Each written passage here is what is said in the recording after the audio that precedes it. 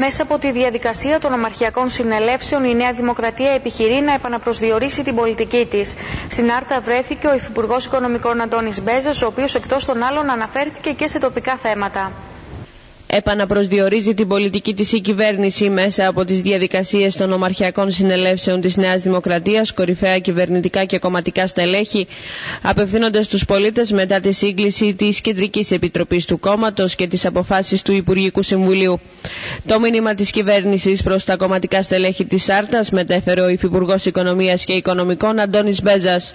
Η διαδικασία την οποία ακολουθήσαμε είναι μια διαδικασία αποτελεσματική. Η διαδικασία την οποία πρότεινε το Πασόκ είναι μια διαδικασία μόνο για λόγους δημιουργίας εντυπώσεων, μια διαδικασία η οποία μπορούσε να μας δημιουργήσει προβλήματα νομιμότητας και συνταγματικότητας.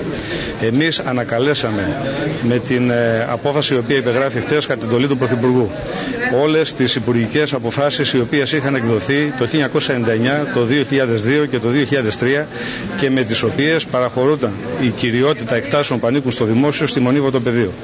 Παράλληλα με την ίδια απόφαση ανακλήθηκαν και τα πρωτόκολλα παράδοσης του 2002 και του 2003 με τα οποία αυτές οι εκτάσεις παραδόθηκαν στη Μονή Βατοπεδίου.